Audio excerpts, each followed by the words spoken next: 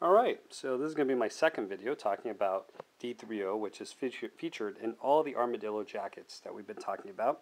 And um, again, I think I answered some of the questions. It's not liquid inside the jacket. The jacket does have D3O inside of it. It works great.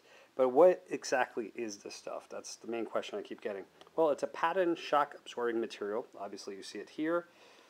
It's, uh, it's gooey, but um, this is the state of the material before it gets um, transformed into the actual armor. And as you can see, it will start to melt, and next you know, it'll be a little puddle of D3O.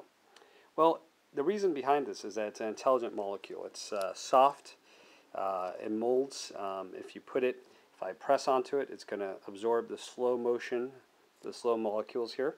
So when you move slowly, it's going to move freely, and it's going to be soft, it's going to be flexible, it's going to be very fun. It leaves no residue. That's something else. Look, there's nothing on my hands. There's no uh, gooey stuff on my hands or anything like that, like Play-Doh.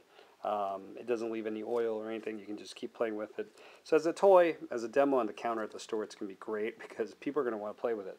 Um, but it's flexible and soft because, again, it's a slow rate of movement. And the same thing applies to the armor that I showed you before.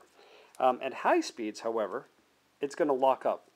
The molecules are going to get hard. See how this is soft and flexible? If you push it's going to be soft.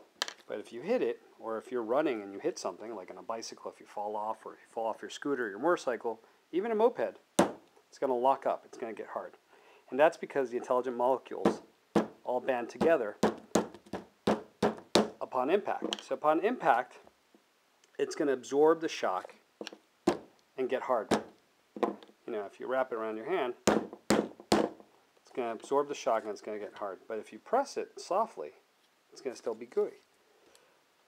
So it's low profile, it's low weight, it's, it gets into the, the clothing very easily. You can take it out when you're going to wash your armadillo jacket.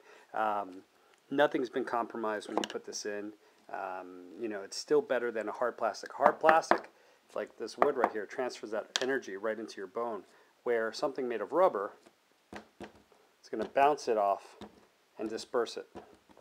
And that's what I like about the, the deep the D3O. It's, um, it's got the qualities that makes it perfect for any application, um, especially any clothing garment. Um, it's lightweight.